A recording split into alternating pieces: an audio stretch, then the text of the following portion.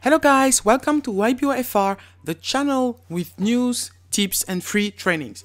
Today we will speak about delivery method. In order to create a delivery method, you need to go to sales, delivery method, and then you can click on create. Now we will create a standard delivery. We just enter the name of the delivery method and then we can create the carrier. For instance, now we have the transport company called My Carrier and then we will put inside that it is a vendor. Now we can save our transporter. We can decide what we do in terms of pricing. The first option is fixed price. So we select fixed price and we can enter the value of the fixed price. In this case, it's gonna be 100. So let us create a sales order now.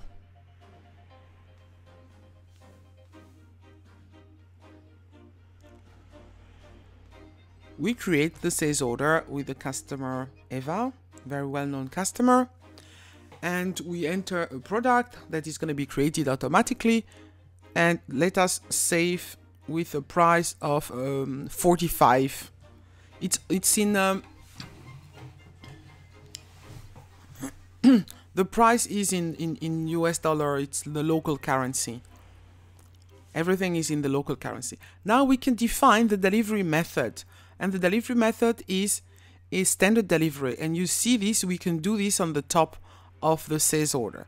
When we click now on update you will see below the delivery method that the price appears and this is a price of $100 so we click on set price and this price is going automatically now in the sales order as a delivery line. Let us now change the delivery method. We want to have free delivery if the sales order is less than $50. So we just enter here $50 and we can save the, the delivery method, go back to the sales order. So let us create the sales order for Eva and we change the delivery method to standard delivery. Now we can enter uh, a line it's gonna be the salt and we enter the unit price 45 this unit price is below 40 uh, is below 50 dollar. So let us see what happens.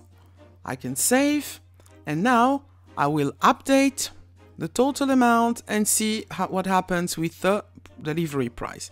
The total amount of the sales order is 51 $75 and this is the reason why the price is already zero. So it's important to know that the, this is calculated based on the total amount of the sales order and not on the amount without taxes.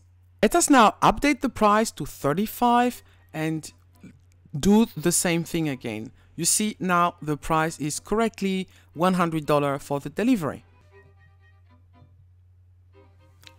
Let us go back in the standard delivery and try to do the price computation based on rules. If you look at that, you see that already two rules exist. These rules were created automatically by the system. So we want to add an item and you see there are plenty of possibilities to add items. You have um, different uh, methods for calculating based on the weight, on the quantity. In this case, I want to have a price of 23 if the quantity is bigger than 10 pieces. So I type in the quantity bigger than 10 and then I type in the sale price for the delivery. I can save now.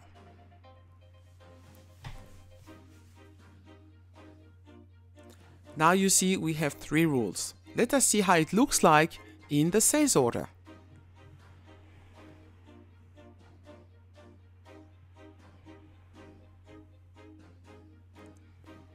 I change to my standard delivery and I enter an item.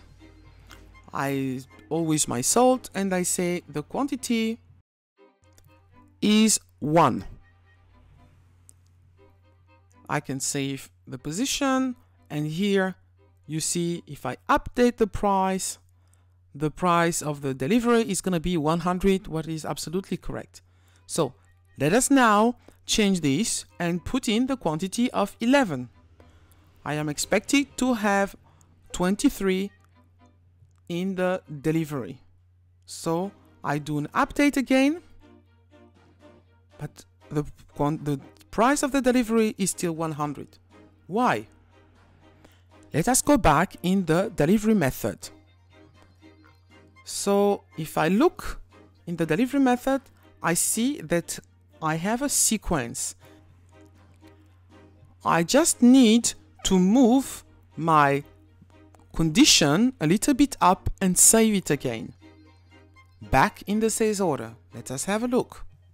Now I have created my line again with 11 as a quantity and an update.